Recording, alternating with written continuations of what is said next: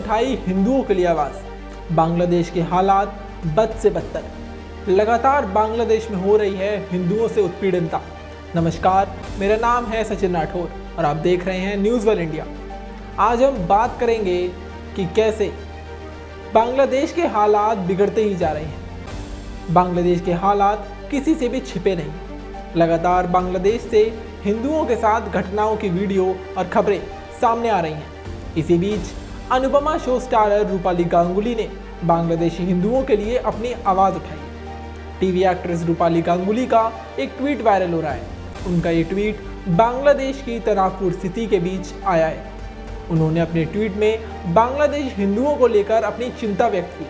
उन्होंने इस ट्वीट के ज़रिए अपने फ़ैन से कहा कि सबके साथ खड़े होकर आवाज़ उठाने का वक्त आ गया है। शेख हसीना बांग्लादेश छोड़कर आ गई हैं। ऐसे में वहाँ के तनाव और हिंसा की खबरें सामने आ रही इसी बीच ये भी आरोप लग रहे हैं कि बांग्लादेश में बांग्लादेशी हिंदुओं के साथ हिंसा की जा रही है। इन्हीं आरोपों को लेकर रूपाली गांगुली ने अपनी चिंता व्यक्त की। रूपाली गांगुली ने 7 अगस्त को अपने हैंडल पर ट्वीट कर लिखा, बांग्लादेश में हिंदुओं की उत्पीड़नता की खबरों से मैं बहुत ज़्यादा परेशान हूँ। मेरे पिता की जड़ें वर्तमान के बांग्लादेश से जुड़ी हुई हैं। इसलिए अल्पसंख्यकों पर लगातार हो रहे अत्याचार और हिंसा के बारे में मैं सोचकर डर जाती हूँ। ये समय है दुनिया के हर इंसान को बांग्लादेश में असहाय और कमज़ोर अल्पसंख्यकों की सुरक्षा के लिए आवाज़ उठानी चाहिए। रूपाली गांगुली ने इस पोस्ट के साथ ऑल आइज़ ऑन बांग्लादेश और all eyes on Bangladeshi Hindus भी लिखा। लोग रूपाली गांगुली के इस पोस्ट पर कमेंट कर रहे हैं। एक यूज़र ने लिखा कि रूपाली गांगुली जी से पूछिए कि मणिपुर का क्या होगा। वहीं एक दूसरे यूज़र ने भी लिखा कि अपने देश में अल्पसंख्यकों पर हो रहे अत्याचार का आप क्या करेंगी?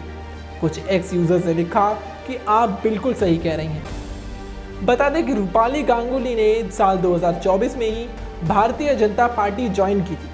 5 अगस्त को बांग्लादेश की पीएम शेख हसीना अपना पद छोड़कर देश से निकल गई। शेख हसीना की खबर मीडिया में आते ही प्रदर्शनकारियों ने उनके ऑफ़िस को घेर लिया और लूटपाट मचा दी। बांग्लादेश में अब भी स्थिति काफ़ी तनावपूर्ण है। शेख हसीना फ़िलहाल भारत में पना लिए हुए हैं। ऐसे अपडेट्स के लिए देखते रहिए न्यूज़ वन इंडिया।